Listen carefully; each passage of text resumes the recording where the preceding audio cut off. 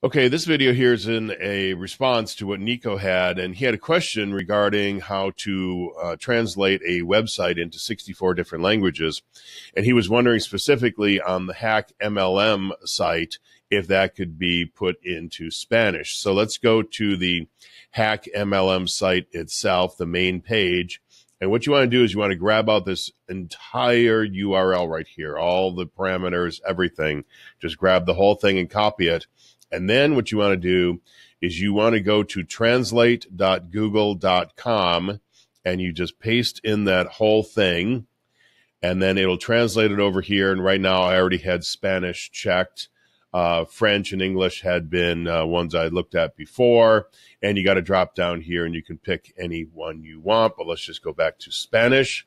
And then what you do is you click on this little link here, the little square with the arrow sticking out of it. You just click on that It'll open up a new tab. And if this all works right, this should now be in Spanish. Yes, here it is. It's slowly loading up. And um, okay, so here we go. Now, of course, any images aren't going to be able to be changed because they're images. I can't read those. And things inside of like input boxes like this is, won't be able to read. And anything that doesn't load with the page. So if you have any delayed load on any kind of animated elements or anything like that. It's not technically on the page until you scroll down. And so that won't be able to load either. So if you're building a site that's going to be used in multiple languages, whether through this or through the trick I showed in the other video, you want to make sure everything loads all at once if it needs to be translated. So um, that's one thing to keep in mind. So here, here it worked, but what will happen though is if we come to the inside, the training area itself, and we grab the URL from here and we copy this out, and let's just kill that one, put this one in, and we hit the button. What you're going to see very quickly is it's not going to work.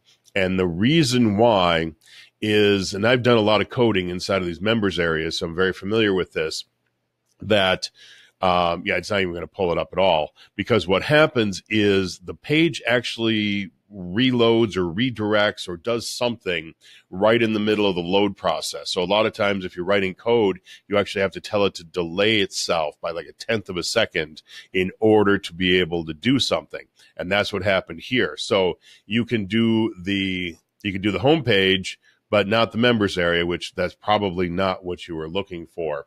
But I want to show you one other thing as long as we are in here. Let me just open up this new tab and I have the page here for dropfunnels.com and let's just open this up and it will translate it. But this is where I'm going to show you that as we scroll down the page, if something was a graphic or something was not showing on the page at load time, it will not translate. So the uh, fancy text here, this does not translate.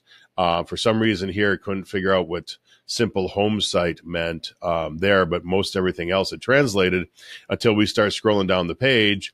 And then like this comes in. Actually, that's an image anyway, so that wouldn't have gotten done.